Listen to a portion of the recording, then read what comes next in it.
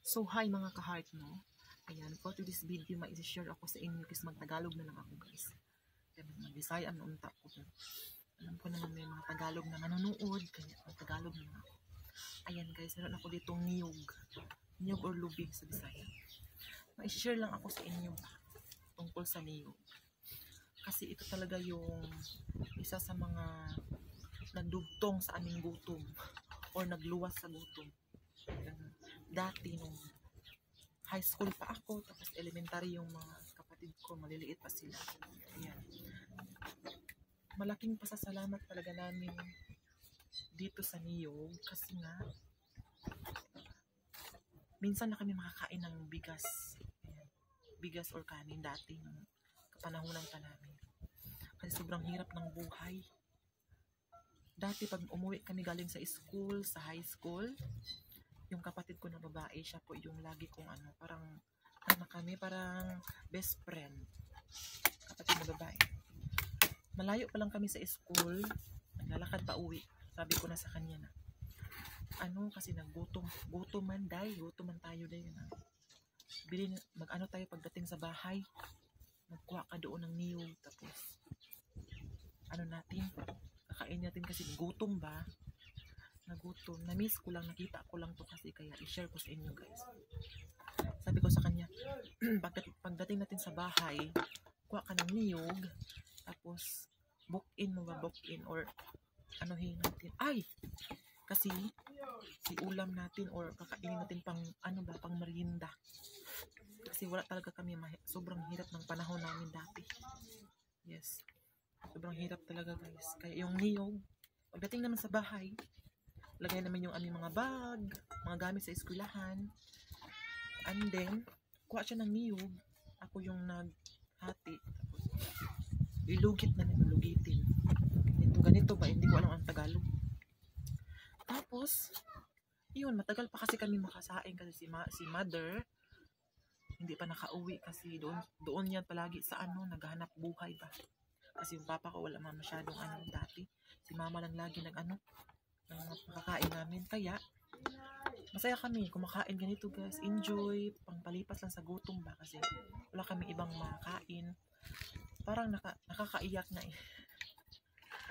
nakakaiyak isipin na kahit ganito yung kinakain namin dati, pangpatawid gutom, pero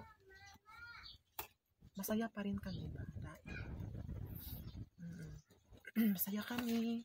Tsaka, parang hindi namin yung, parang hindi namin feel yung mga, kanaang paghihirap namin sa aming buhay kasi in-enjoy lang namin ba. Nag-enjoy lang kami. Parang nasanay na siguro ba, ganun. Tapos yun na, pagkatapos kumain mga alas 6, siyempre medyo madilim na yan sa, sa bukid ba. Madilim na yan. Pagdating ni mama, nakatulog na kami dyan.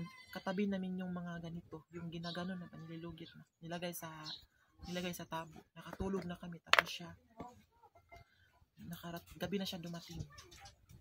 Kaya minsan magsaing magsaing siya kasi siyempre pag galing sa school pagod diba? tapos gutom kaya pag tapos namin kumain bali snack bali snack na to snack nakatulog hindi namin yun parang parang hindi namin yung inisip na ma, nakakasakit sa tiyan.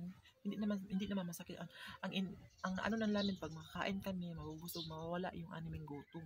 Kaya yun lang. Kaya minsan inulam namin sa kanin kaya may kanin ako dito. Sa mga hindi nakakaranas diyan, masarap. Masaya ang ano, buhay namin do dati. Yan. Mga masarap to iulam sa kanin. Hmm. Alam ko marami naka-experience ng ganito. naisip ko nga, ang bilis ng panahon, no? Ang bilis ng panahon. Dati nag-agawan pa kami sa ulam namin na ano, ulam namin na bagoong, nag-agawan pa kami sa sabaw. Tapos bihira lang kami makakain ng kanin bigas. Mm-mm. Pero masaya pa rin kami. Masaya pa rin kami. Kahit yung pagkain namin ba, parang kapos sa pagkain, pero hindi kami nagigutom kasi may ma- ma- makukuha tayo sa paligid. Sinishare ko to sa inyo mga kahal kasi alam ko marami mga bata ngayon na mag-aksaya na ng mga ano, pagkain. Kasi nga maraming may ma, may maibigay yung parents nila.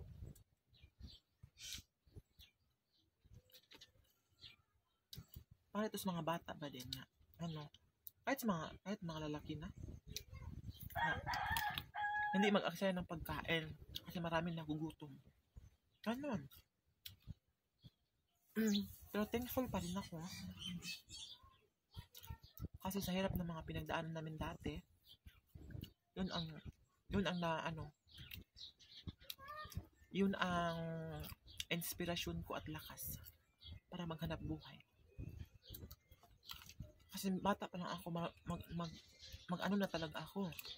So, marakit-rakit na. Elementary pa lang ako, nagbebenta na ako ng candy. yung sa kinugay. Kinugay ba? Asukal na kinugay tapos lagyan ng ano? Tawag doon? Yung gata. Tapos ga- gawin namin candy. Binta namin sa school, elementary no, elementary ako noon tapos nang high school ako hanggang third year. Nagbibenta ako ng candy na ganun, kinugay. Yes, malaki talaga ang ano. Malaki talaga ang tulong sa akin yung aming ano pamumuhay. Kasi natuto akong mag natuto akong mag magsikap, magbanat ng buto para maka maka ano makahanap ng income. Kaya kayo dyan, mga, mga, ano, yung mga magulang na, mga anak dyan na mga, mga ano, mga pasaway, tsaka mamili ng mga pagkain. Mali yan.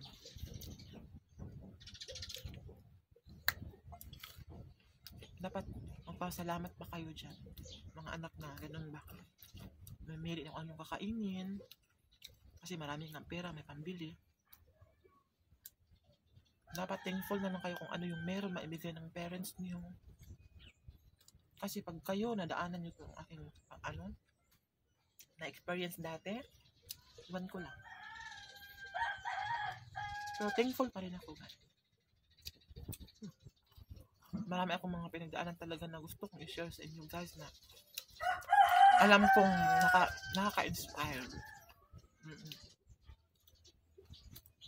Siguro next video, siguro next video na lang. I-share ko sa inyo yung mga mga pinagdaanan ko dati nung bata pa ako, guys. Ah. Ang saya. Ang sarap. Ang sarap ng kanin. Iulam ko. So, yun lang. Sana ma-share nyo ang aking video. Maraming salamat.